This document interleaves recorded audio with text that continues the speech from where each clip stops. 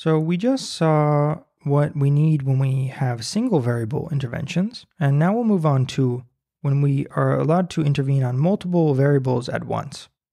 So we saw that when we only intervene on one variable at a time, then we need n minus 1 interventions in the worst case, and n minus 1 interventions are sufficient to identify the causal graph. That's what we just saw in the last section. And what if we could intervene on more than one variable at once? So that where we have no restrictions on the number of nodes per intervention. So one intervention specifies a set of variables to intervene on, then another intervention specifies another set of intervariables to intervene on. Right? So it's a sort of sequence of sets of interventions. In that case, the floor of log base 2 of n plus 1 interventions are sufficient. Right? So we lo- roughly only need the logarithm of the number of variables to identify the causal graph.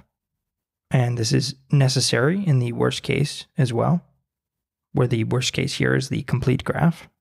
You can see this other paper from Eberhardt et al. 2005 to learn more about this. And this is the number of interventions we need in the worst case, where the worst case is the complete graph. But it seems like we won't often be in the case where we have a complete graph. So, what about when we have graphs that are not complete?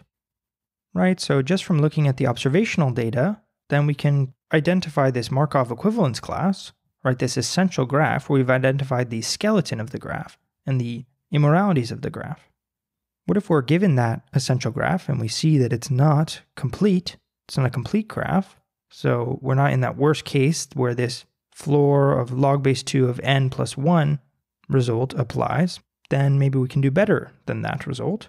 So, how many interventions are necessary then when we know the essential graph? Given that in any intervention we can intervene on as many nodes as we like. The answer is that it depends on the largest clique in the graph. So a clique is just the largest set of nodes in the graph where there is an edge between every pair of nodes. So in a complete graph, the largest clique is the number of variables. It's the whole graph is the largest clique. But in a non-complete graph, the largest clique will be smaller than the total number of nodes. And it turns out that the largest clique is important. So let's say the largest clique is of size c. Then we have this theorem that you need log base 2 of c, and then round that up. So the ceiling of log base 2 of c multi-node interventions to identify the graph. So that's enough interventions to be sufficient, and it's also necessary in the worst case, where the worst case here is when we know the Markov equivalence class, we know the essential graph, then we can identify the graph with that smaller number of multi-node interventions.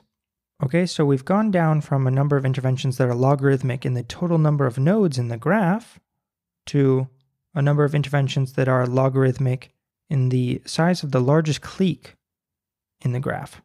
And this result was first conjectured by Eberhardt in 2008, and then it was proven by Hauser and Buhlmann in 2014.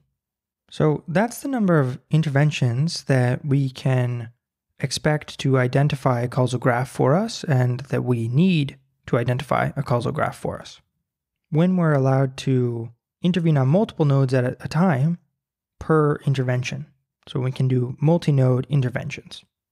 And that brings us to the end of the multi-node intervention section and to this question, which is about this graph on the right here. In this graph, how many multi-node interventions are sufficient and necessary given that you know the essential graph of this graph?